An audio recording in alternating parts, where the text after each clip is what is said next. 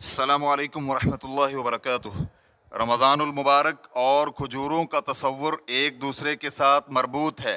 हदीस मुबारक में सहरी और इफ्तारी में खजूर के इस्तेमाल की तरगीब दी गई है। खजूर खाना, उसको भिगो कर उसका पानी पीना, उससे इलाज, तजवीज़ करना सुन्नतों में शामिल है। अलगरज, इसमें लातदाद बरकतें और बेशुमार बीमारियों का इलाज है।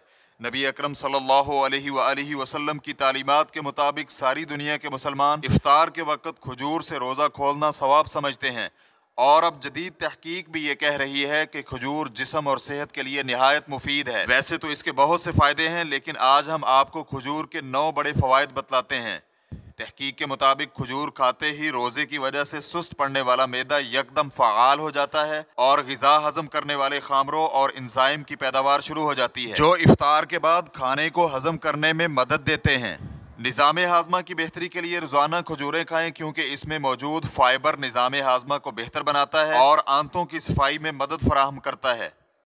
खजूर को तोानाई फ्राहम करने का अहम ज़रिया भी समझा जाता है, क्योंकि ये तोानाई बरकरार रखने में मदद देती है। इसकी कुदरती मिठास, दीगर मीठी अशिया की नस्बत खून की शक्कर में कम इजाफा करती है।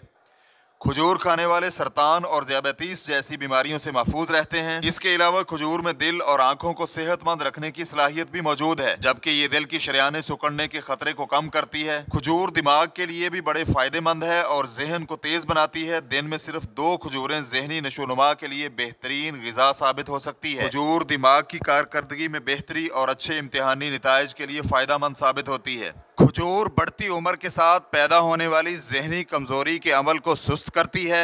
एंटीऑक्सीडेंट से भरपूर खजूर का इस्तेमाल चीनी की जगह मुफीद है, क्योंकि चीनी इस खासियत से महरूम है। इसके लिए खजूरों का पेस्ट बनाकर चीनी की जगह उतनी ही मकदार में इस्तेमाल करें तो कोलेस्ट्रॉल में काफ़ी हद तक कमी हो सकती है। रमज़ान मुबारक में खाने के औकात में तब्दीली और रेशेदार गजाएँ न खाने के बायस कब्ज हो सकता है। ताहम खजूरों के हल पजीर रेशे कब्ज से महफूज रखते हैं। ये वो फल है जिसका ज़िक्र कुरान पाक में बीस से जायद मकाम पर किया गया है, जबकि अहादीस मुबारक में भी कई जगह खजूर की अहमियत और फजीलत बयान की गई है। खजूर पाकिस्तान समेत दुनिया के कई मुख्तलिफ़ ममालिक में पैदा होती है। ताहम मकाम मुकदसा की कुर्बत के बायस सऊदी अरब में पैदा होने वाली खजूरों को अकीदत की निगाह से देखा जाता है। इजाज मुकदस जाने वाले अपने हमरा खजूर का तोहफा लाना नहीं भूलते। सऊदी अरब में खजूर की तकरीबन सौ से जायद, जबकि दुनिया में खजूरों की तीन हज़ार से जायद अकसाम पाई जाती है। किसी जमाने में सबसे ज़्यादा खजूरें मदीना मुनवरा में होती थी, लेकिन अब दीगर इलाकों में भी उनकी वाफिर मकदार में पैदाइश होती है।